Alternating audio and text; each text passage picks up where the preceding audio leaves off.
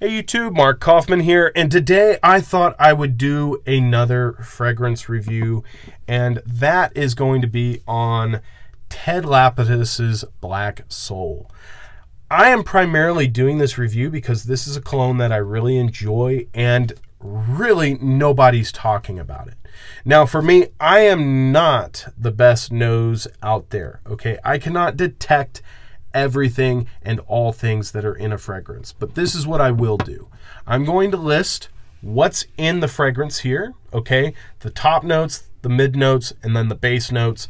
And you guys can kind of evaluate what this is going to smell like to you. But what I'm going to do is try my best to describe what this smells like. So I actually wore this all day today.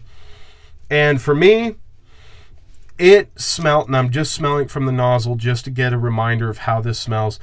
It smelt like you had taken honey, okay, and put it over a nice um, leather, soft leather bag and put just a little bit of tobacco smoke and tobacco leaf on it with a little bit of floral notes in there and then a little bit of patchouli or grass notes. Okay, it's got a little bit of funk in there from a grassy note somewhere, but it just smells very, very good. And there's a hint to my nose of like cinnamon or some kind of spice that kind of dances around it. And as it dries down, it's mostly like a very nice honey vanilla leather scent. Now, when would I wear this? Primarily, I would actually be going for a black tie event. I mean, I'm not saying this black soul is really saying, hey, you're a depressing person or anything like that. But I think what it's saying, you are going to be this soul that's going to be very dark, mysterious, and very, very um, interesting. And for me, I think the bottle and the way that it's shaped with this interesting lid and the black and everything really just harkens towards wearing it at a black tie event. I feel like this is a great evening fragrance very nice um, going out to a bar fragrance and maybe even going out for a nice romantic night out. Now, for me personally, I had to apply a lot of this, and it's not because it was a bad performer. It's because this um, this um, atomizer gives out a little bit of juice. It doesn't spray a lot. The mist is very, very fine. It's a very, very fine mist. I'm not going to spray it in here because if I spray it in here, I'm going to smell it for days on this counter. But for me, it was a very, very fine mist, and I had to spray a lot, um, but I didn't use a lot. It's just it sprays very little. Now, personally, what did I get out of its performance? Performance wise, I actually thought it died off at six hours. Okay. I thought it died off, but this was the reason why I thought it died off. I was a little hesitant on the trigger, and I reapplied it around 12 o'clock in the afternoon. Now, but this is the thing. I got to work at 3.30 in the morning, okay? So by 9 o'clock a.m., I thought this had died off, but I was getting whiffs of it from around 11. So that would be one, two, three, four, five, six, seven, eight, nine, about nine and a half hours scent. Okay.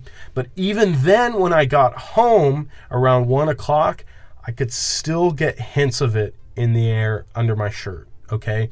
So take it as you will. It's a pretty good performer, but this is not loud. Okay. This is a fragrance that you wear and you want people to notice when they get close to you. It's not something that you're going to wear clubbing, okay? This is primarily going to be a gentleman's fragrance, a gentleman's scent, and it is definitely going to be something that you wear when you don't want to seem too loud, but you want people to at least notice what you're wearing. Now, this is some of the information on the bottom of the bottle, and what's very interesting is the percentage level. It says 75% volume. So I believe that 75% volume is of the alcohol. So if that math is right, this is a pretty concentrated amount of um, cologne in here. Now it's an eau de toilette, but it really acted like a parf- uh, eau de parfum for me. For me personally, it stayed kind of close to the skin, didn't really resonate a lot. The sillage was not very big. I noticed the bubble around me for the whole day, but it just was not a fragrance that was like, wow, slapping me in the face. Um, if you really want a fragrance that's going to be slapping you in the face all day, you wear the Lapidus Pour Homme, or you can even go with something like, let me see, you could even go with something like this, Joop, okay? You could go with that.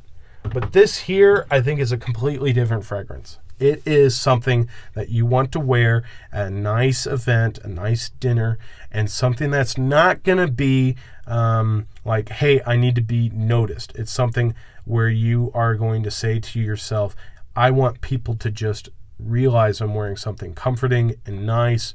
And I would even say it's a good cuddling scent. Okay, movie night, maybe a nice night at the house. It's a good fragrance for that. I would probably even just do two sprays at that point. So I thought you guys would enjoy this fragrance review. I'm trying to get a few of those out on fragrances that I'm not seeing out on YouTube, and this is definitely one of them. Everybody's doing the Black Soul Imperial, and for me, I thought having the Black Soul out there on YouTube would get a few people to know at least what this kind of smells like. So till the next one, you guys, I'll talk to you guys later. Bye-bye.